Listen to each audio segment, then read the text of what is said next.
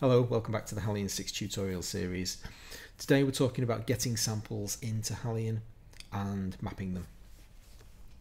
And the example that I've chosen to use is uh, I want to record this Juno keyboard. I want to get some samples in so that I can process them inside Halion. How are we going to do that? So first, first things first, if I'll just throw that out the way.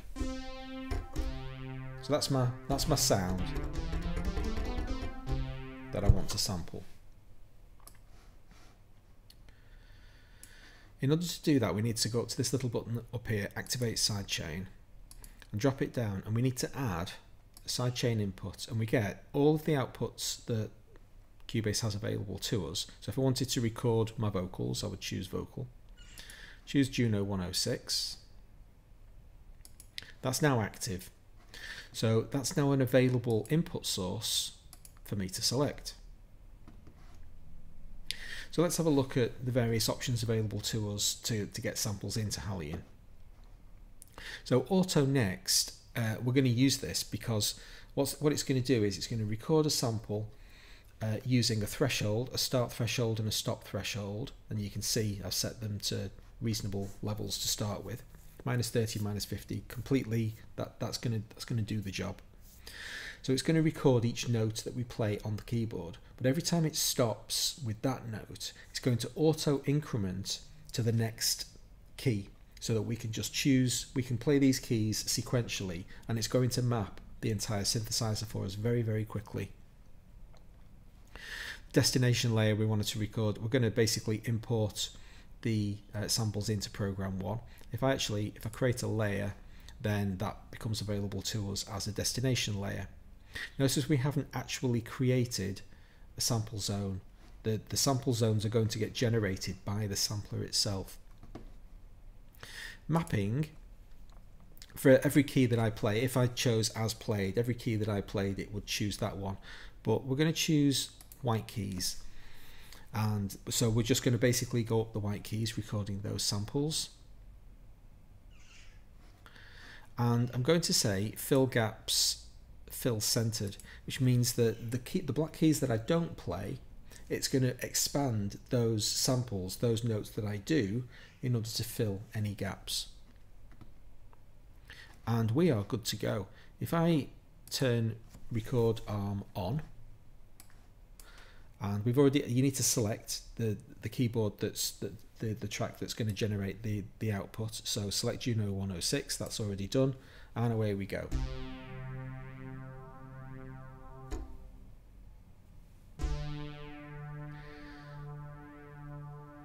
So wait until the uh, stop threshold gets triggered. And then it'll tell you what the next key is going to be. So as soon as I hit G, it says the next one's going to be A. Are you ready? Hit the A. And then the B. And we'll just do one more. We'll finally do a C4.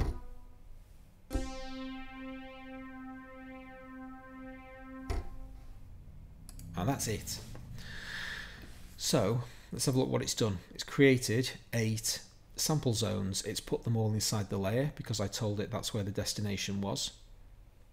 If we go over and have a look at our options, this is where all of those samples will get recorded. So it's currently recording them into my kind of central documents folder. You could instead choose to uh, record them directly into the project folder. If there were sounds that you were only going to use in this project, then you've got everything uh, collected together. And here it's all pretty straightforward. Um, audio settings for your bit depth and format and all those kind of good things. You get to choose some uh, basic properties for the recording of each zone. And this one's quite important. Auto normalize auto normalize uh, I always have on. And it basically just sets everything you know what normalize does it sets it to 0 dB. So you're not going to get clip anything but it's going to set each sample as reasonably loud as it can. So if you've got velocity sensitivity on your keyboard and you play some notes slightly quieter than others then it'll correct for those kinds of things and we've auto trimmed silence away so we're just going to get the sample now I've just realized I've gone through all of that explanation and I didn't actually tell you to go to the load rec tab and engage the recorder. That's where all of these options are. Sorry about that. So now that we've recorded the sounds in, let's have a look what we've got. First things first, select our Halion track. We don't want to, it's so easy you do this. You, you record your samples in, you go, oh, that sounds good. They're really great samples. And it's still playing the Juno. We can prove this. Let's just throw the Juno away, switch to the Halion. Schoolboy error. Did you see what I did? I just pressed a note on the keyboard expecting to play the Halion sound and nothing came out. Can you see why? Not activated the slot. There we go. So there's my C3. That's the, the, the root note that has been mapped here. So now these are the samples we've just recorded.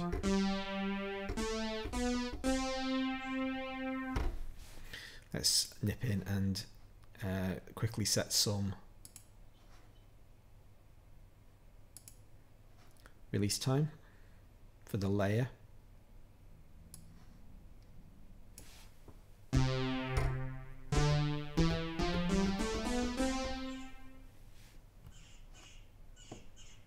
And that's it. We're not going to do any more editing on the sound itself. We've just sampled a Juno 106. Let's have some respect. Okay, so now we've clicked on the mapping tab. So let's have a bit of a look at what's gone on here. The first note that we sampled was C3 and the first note that we can read up here is D3. Well, that's because C3 occupies this note and everything below. Because we filled gaps and that was the lowest key, every key that we play below C3 is just playing that sample. Then we've got the D3 that we recorded here and it's mapped that down to C sharp 3 uh, E3's been mapped across two notes, blah blah blah. This A3 here only occupies a single note because the it's being covered by the other two on, on each side of it. And then C4, which was the highest sample we played, that covers all the way up to the top of the keyboard. Obviously, the higher away from the key center we go, we're going to get, you know, munchkinization and all those kinds of things if you were doing this seriously, you would map the entire keyboard. If you really want to go to town, there's absolutely nothing stopping you sampling every single note. Now, for the purpose of demonstrating actually getting a sample into the system, that's pretty much all we need to know. These uh, options over here have got all sorts of variants to them. Instead of using audio threshold, threshold, you can use MIDI, MIDI on and MIDI off. If I did that, if I was recording this Juno uh, 106 synth that I did, and I used note on and note off, I would lose all of the release tail of the synth. It would literally just record the, the raw note. But in different situations, let's say you're dealing with something that has no release time, then note on and note off would be, you know, perfectly acceptable manual just press record and it'll start sampling immediately and you can do whatever you want. There's no threshold limits to you. All of these different mapping options are pretty self-explanatory. Uh, fixed all get mapped to the same key chromatic clearly black keys speaks for itself. You can set this next key value. Once you've done this kind of build up thing it will stick.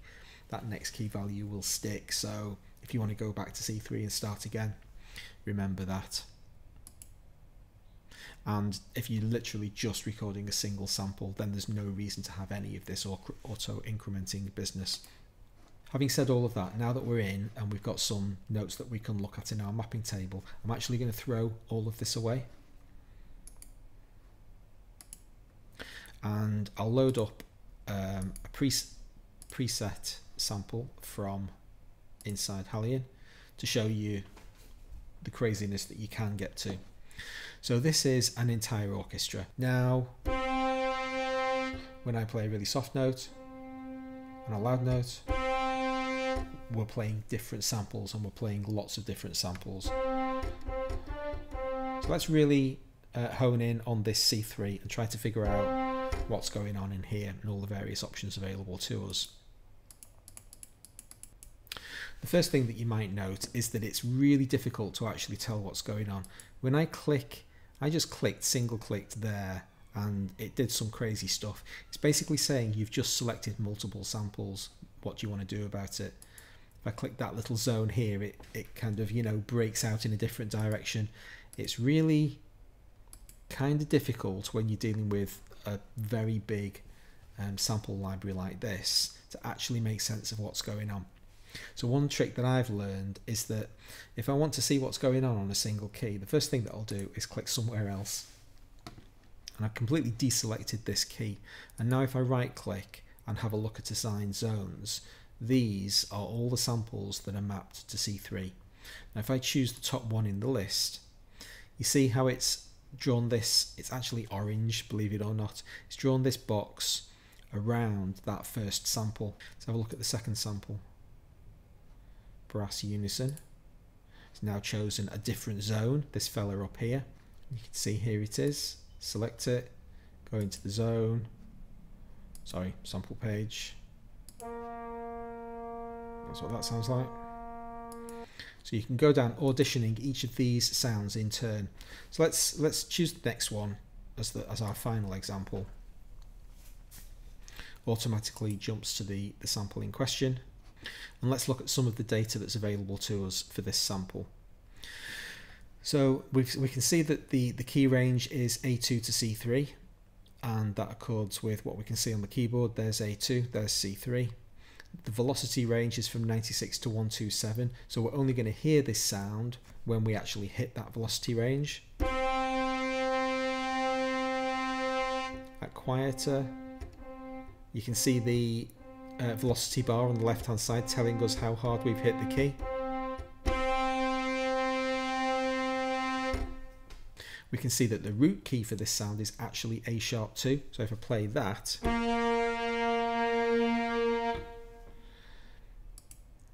then over in the sample page, that's the component that we're hearing. When we hit the key, we're hearing multiple samples anything that happens to be mapped in that range. We can pick this sample up and do whatever we want with it. So here's a cool little trick. If I press the control key down and click C3 and hold C3 down as well,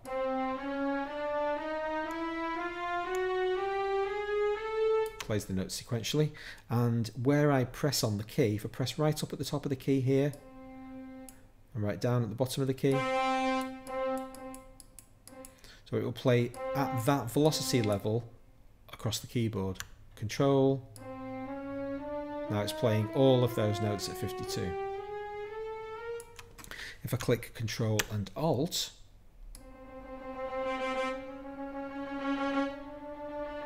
plays 10 different variants of each note. It's a really excellent way of auditioning the keyboard and hearing what it's doing at different velocity levels. If I'm scrolling through the program tree and select a note, uh, I'll have to zoom out to see this. It's telling me where that note is. And then we can zoom in and see what else is going on over there. Double click on the note, zoom in, extreme mode, double click, come back out again. If you have multiple zones selected simultaneously, like we clearly do here, if I drag, it will resize them all. Control Z will always undo these operations. Single click away. If I just select that note on its own, there it is, selected and highlighted in orange. It's this one down here, highlighted in orange. Click it, now we've got a red box around it saying it's the selected zone. And now if we resize, that's the only zone that will get edited. So this is how you choose your, your keyboard ranges and your velocity ranges. You've also got a whole host of mapping features in the program tree itself most of this replicates the functionality that we've got in the graphical editor. For instance, here is the fill gaps. If I had sampled, when I did the samples, I set, I set uh, fill gaps centered. But if I didn't and I had uh, empty spaces in the samples, this is where you can choose how you want to fill those gaps.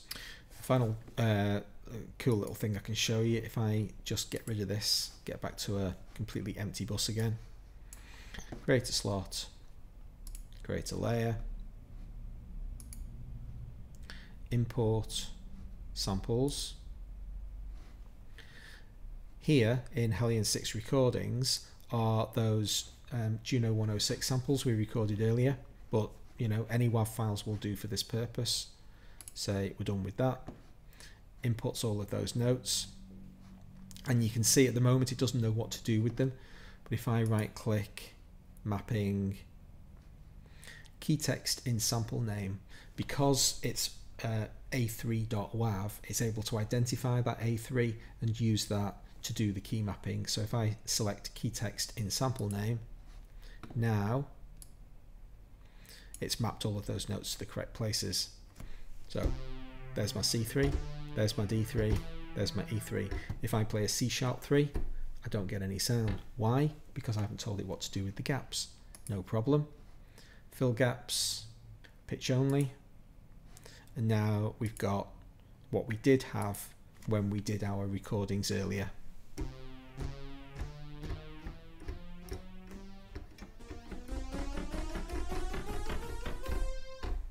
Full keyboard range. Working with samples can be as complicated as you want. If you're dealing with something like that orchestra where you've got lots of notes on a single key, then get get your spreadsheet out. You know, you've got some processing ahead of you. But if you've got one key, um, one note per key, and you've recorded a simple sound like this, you know, you could uh, go around the house just like with a microphone, banging household objects, get a load of samples, put them all in a single folder on your PC, drag them all in, map them chromatically, and you've got 88 new sound effects available to you. It's really kind of not intimidating once you get over that hurdle of, oh, how do I get sound into my computer? It's incredibly easy. Just remember the, the sidechain business to get your inputs plugged into Halion and then remember to select whatever source that you're actually feeding from if you're doing it um, live. And if you're importing the samples then it's incredibly simple. Just uh, right click on your um, on your layer and all your, your import options available um, here so that's the basics of uh, recording and importing samples into Halion and doing a little bit of mapping. Hope that was useful to you and uh, I hope to see you next time. Thanks very much for watching